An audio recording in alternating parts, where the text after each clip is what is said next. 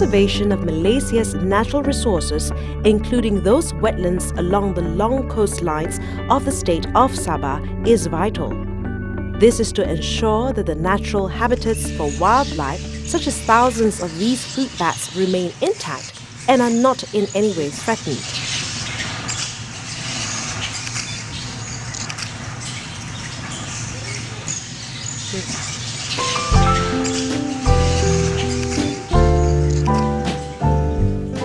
The ecosystem of wetlands is dynamic and highly productive. It plays a multiple function role that is essential to its surrounding habitats and it is an important resource for communities living in coastal regions of the nation. Given the wide range of benefits of wetlands, efforts for the proper management and conservation of these areas are absolutely essential. Positive actions to preserve them are indeed crucial. Failure on this count shall result in the disruption of the fishery supply chain and the very livelihood of local communities could be in jeopardy. The threats and challenges facing this daunting task of conservation, both globally and locally, are real. But unfortunately, these ecosystems and the biodiversity is really uh, degrading or losing at a very alarming rate. And wetlands are one of the uh, ecosystems which is really uh, facing the major threat more than one third of the existing ecosystems, including wetlands, either degraded or not in a position to really provide the services what they meant for. States in Peninsular Malaysia have lost about a third of mangrove lands. The state of Sabah too has not been spared of such loss and degradation. The expansion of human settlements within the coastal areas has had a negative impact on wetlands in the state. In this regard, the Sabah Forestry Department believes that the influx of foreigners in the last few decades has been a contributing factor to the degradation of wetlands. Although mangrove soils are generally considered only marginally suitable for agriculture, yet there had been widespread conversion of wetlands in Sabah for agro activities such as planting of oil palm. This massive conversion of wetlands has become a major obstacle to conservation efforts. Most important thing I think is to look at the big picture. What is our big picture? Our big picture is number one, there should be no net loss of the wetlands, which involves the mangroves, the uh, freshwater swamps, and the peat swamp forest.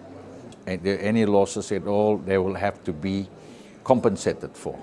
The second point is we need to address degradation. There are some areas that have been degraded as a consequence of bad practices in the past and also encroachments. And we do this through replanting programs, reforestation, and so on. And of course, very importantly, is to create the awareness of the value of these types of ecosystems. And we can address these three things, I think we are in the right path. There are times when we need to see and appreciate the beauty of our land through foreign eyes. A United Nations official who visited Sabah in July 2011 has this to say of our land you, are, you people are really blessed to live in such a, such a beautiful place.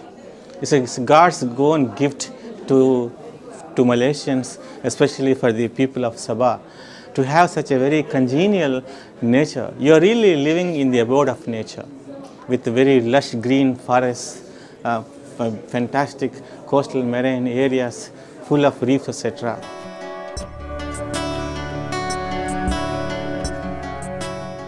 This is all the more reason why we should preserve these precious God given resources. More than 3 billion people worldwide depend upon fish as the animal source of protein. coral reefs and the mangroves really provide the, the breeding grounds and for the, they, they responsible for the growth of the fisheries in the world.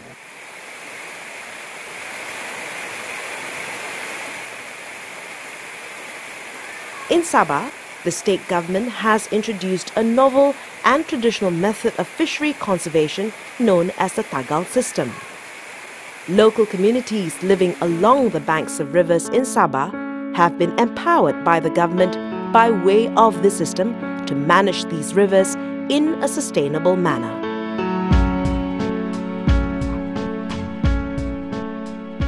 All mangrove forest areas are important breeding and nursery grounds for fish and prawn species, many of which are of commercial importance. These rich fishery resources are relied upon by the local communities for their livelihood and sustenance. For many of these coastal inhabitants, fishing has always been the primary economic activity for personal consumption and for cash income.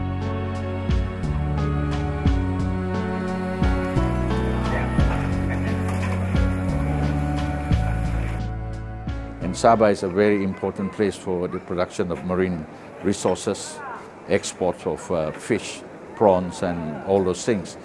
And this is um, very important for the local economy, very important for communities. There are many fishermen here, so they are indirectly dependent on our mangroves. So if we manage our mangroves well, that means we will sustain their incomes in the form of uh, catch. There will be no deterioration or reduction in catches.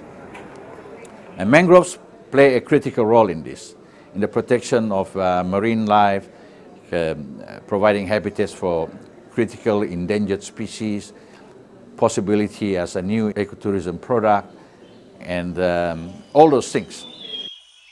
Ecotourism has developed rapidly over the past two decades in Sabah, where many riverside lodges have sprung up along mangrove areas. These include those near Sukau in the lower region of Kinabatangan River and along the Garama River near the Klias Peat Swamp Field Centre in the Beaufort district where visitors could enjoy nature at its best. They may take river cruises to watch wildlife in their natural habitat such as proboscis monkeys, Borneo pygmy elephants, a variety of birds like the hornbills and the amazing fireflies in the evening.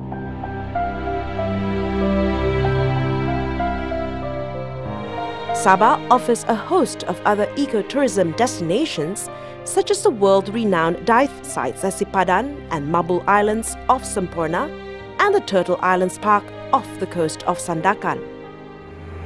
These ecotourism activities have become generators of revenue for local communities in terms of employment and supply of goods and services.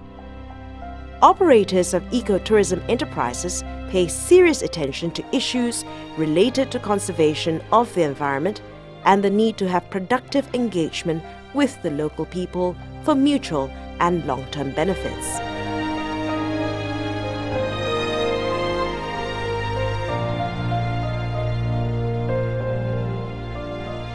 There is also grave concern globally as well as locally over the increasing pressures on water quality and quantity caused by the continued degradation and loss of wetlands.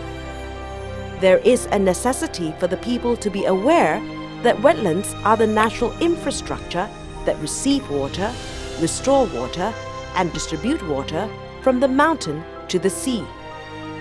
So if people understand that, and people understand that we need a good management of wetland to have water quality, if people understand that when our wetlands are healthy, we remain healthy.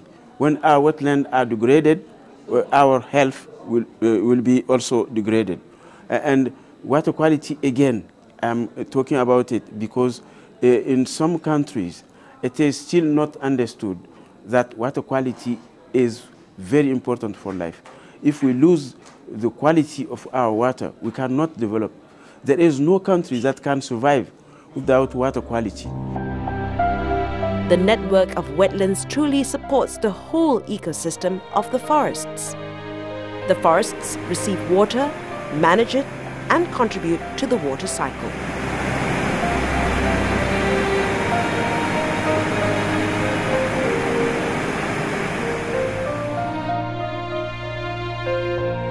Over 90% of the 340,000 hectares of mangroves in Sabah are largely still intact, and most of these areas are under the stewardship of the Sabah Forestry Department. Mangroves in Sabah are distributed abundantly in most of the coastal areas, accounting for 59% of the country's mangrove. Sarawak has some 23%, and Peninsular Malaysia 18% of mangrove forests. Conservation of flora and fauna of mangroves in Sabah is assured under the state legislation, particularly the Forest Enactment of 1968. The total area covered by 22 mangrove forest and virgin jungle reserves is close to 328,000 hectares. The total mangrove areas that need to be rehabilitated in Sabah are approximately 3,275 hectares. They are in the coastal areas and 2,440 hectares of which are under forest reserves. Since 2006, the Sabah Forestry Department has carried out a number of mangrove forest rehabilitation and conservation projects throughout the state. They include rehabilitation and restoration of degraded wetland areas, such as abandoned shrimp farms, eroded coastal areas, and encroached areas in mangrove forest reserves.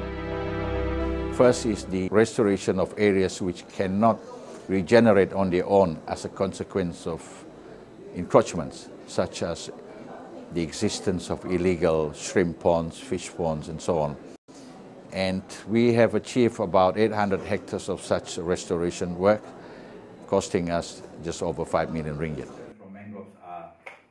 The department has also entered into a collaborative effort with the International Society for Mangrove Ecosystems to implement a mangrove planting program in Sabah for the period from 2011 to 2014.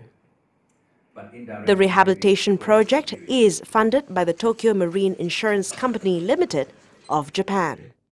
And in 1999, we decided to plant mangrove uh, to uh, be more kind to the environmental of Earth.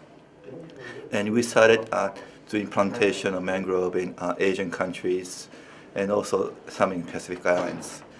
And, but this time, because of the assistance from ISME, uh, they were able to uh, bring this uh, project together with State of Sabah, and so we have decided to uh, fund this project.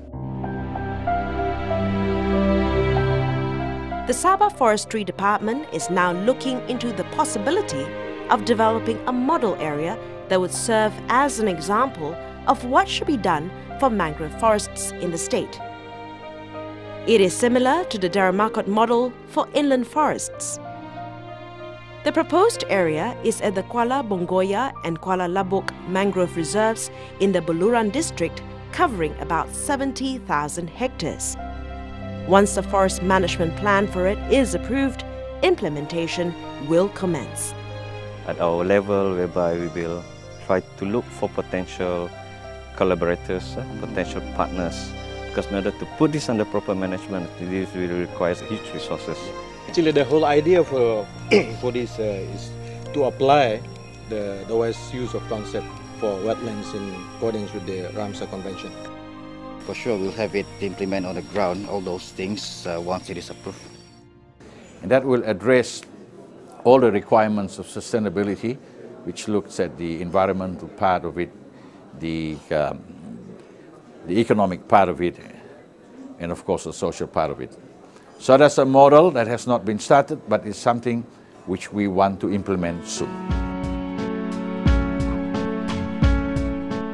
The Ramsar Convention registers sites all over the world in recognition of their richness and value in biodiversity.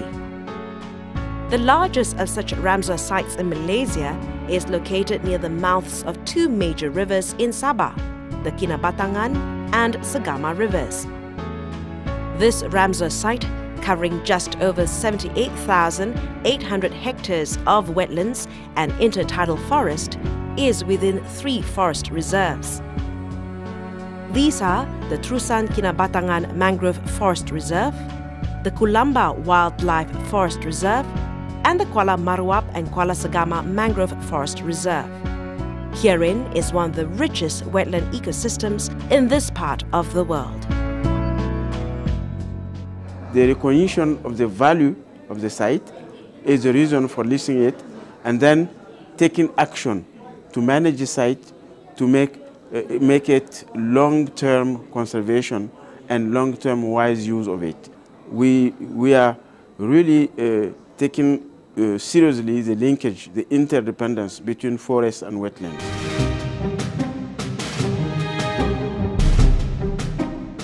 Being largely undisturbed mangrove forests, rare peat swamp forests, and wet grassland on peat, the lower Kinabatangan and Segama wetlands naturally serve as an important habitat for an array of wildlife.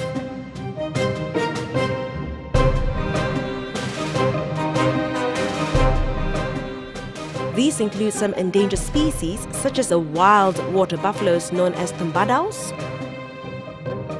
the proboscis monkeys, the orang-utans, the Sumatran rhinoceros, and the Borneo pygmy elephants.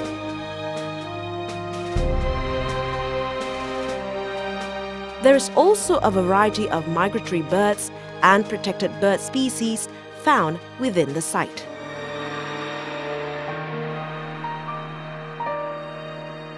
It's also important to protect the wildlife that are found in the Ramsar site. Our job before the formulation of the Ramsar site uh, certification was to protect protect that area to allow some small scale exploitation for local use and all that.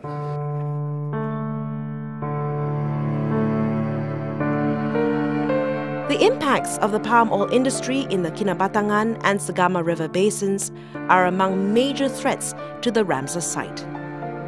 Such threats include the high level of total suspended solids and other pollution of river water caused by the industry, fragmentation of the forest ecosystem, and wildlife connectivity to the Ramsar site. Conservation of areas upstream is, therefore, as important and could result in serious negative consequences if neglected. One oil palm plantation firm in Sabah that takes this matter of conservation seriously is the IJM Plantations Berhad. The group believes that palm oil can be produced in a sustainable manner and it is committed to minimizing the impact of commercial agricultural activities on the environment. In our journey towards sustainability, the company adopts good agricultural practices throughout our operations. The business model of the company is basically to balance profitability with care for the environment and the people. There is great concern over the connectivity between land and sea. When we see a healthy mangrove and other wetland areas, it means that the land around and further upstream is well managed. When the land is not well managed, all the negative impacts go into the waters, the river system, and in the end, to the coastal areas. Besides the fact that mangrove forests are an important resource for coastal communities, they also play multiple ecological functions essential to surrounding habitats. For instance, they protect coastlines against erosive wave action and strong coastal winds and serve as natural barriers against tsunamis and torrential storms. These coral reefs and the mangroves have a very vital role not only with the local but the whole regional and the global level. For example, when the tsunami affected in India 10 years back, I think 2006, six, the where the intact mangrove ecosystems were there, the loss, both the property and the human loss was much less than where the degradation takes place. that is one example where you can see how much the, the benefit the intact mangrove ecosystems can really provide when we face with the natural disasters. Mangrove forests also prevent salt water from intruding into rivers. They also help retain, concentrate, and recycle nutrients and remove toxicants through a natural filtering process. The Kota Kinabalu Wetland Centre, a 24-hectare mangrove forest, was originally designated as a bird sanctuary by the Sabah government in 1996. Two years later, it was declared a state cultural heritage site. Now, the state government is seeking it to be registered as a Ramsar site. I had the opportunity to visit the site. Mangrove area are very important all over the world. And this site is also very close to the city. So it is important to show uh, to the city uh, how wetlands are important for life. And it's very important for education. Uh, and we think uh, uh, it will be good if, if this site can be listed as a Ramsar site to recognize the value of it and to continue conserving it. And many of the mangrove area are also important for protection against storms uh, so it is important to have them around the city uh, and to educate people, to make a clear link between the life of people and nature.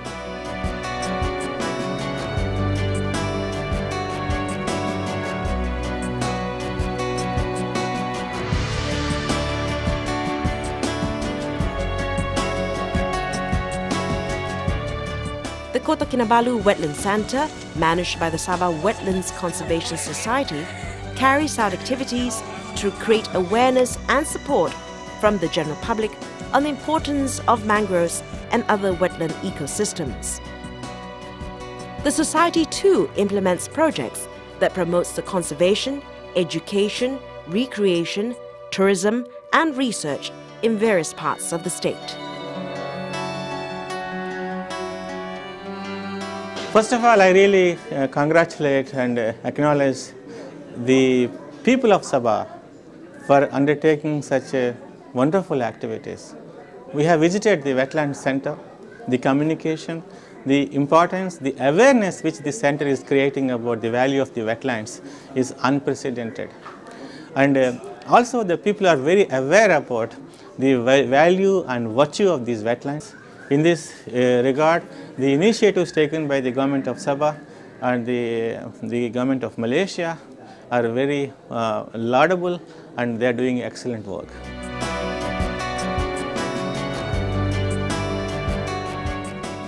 There are challenging times ahead. Globally, the years 2011 to 2020 have been declared by the United Nations as the decade on biodiversity. In harmony with that move, Malaysia's national policy on biodiversity also states that by the year 2020, Malaysia will become a world center of excellence in the conservation, research, and utilization of tropical biological diversity. Similarly, in Sabah, the management plan for the country's largest Ramsar site supports that national vision. This plan provides guidelines for conservation initiatives for the site, covering the same 10 year period from 2011 to the year 2020. We have ignored, I must admit, the importance of these mangroves because we have been so much focused on the inland forest for so long. But now our approach is broader, more. We look at many things now. In the past, we were just looking at timber. Our approach is uh, multi, multifocal. We look at the multiple resources that come from forests, the benefits, the ecosystem services, and all these things are now more important, if not more important, than timber production.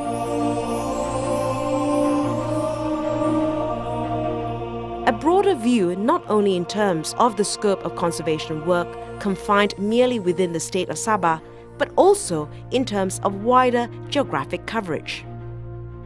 Conservation actions at the Ramsar site in the next decade are also crucial in support of the larger Coral Triangle initiative.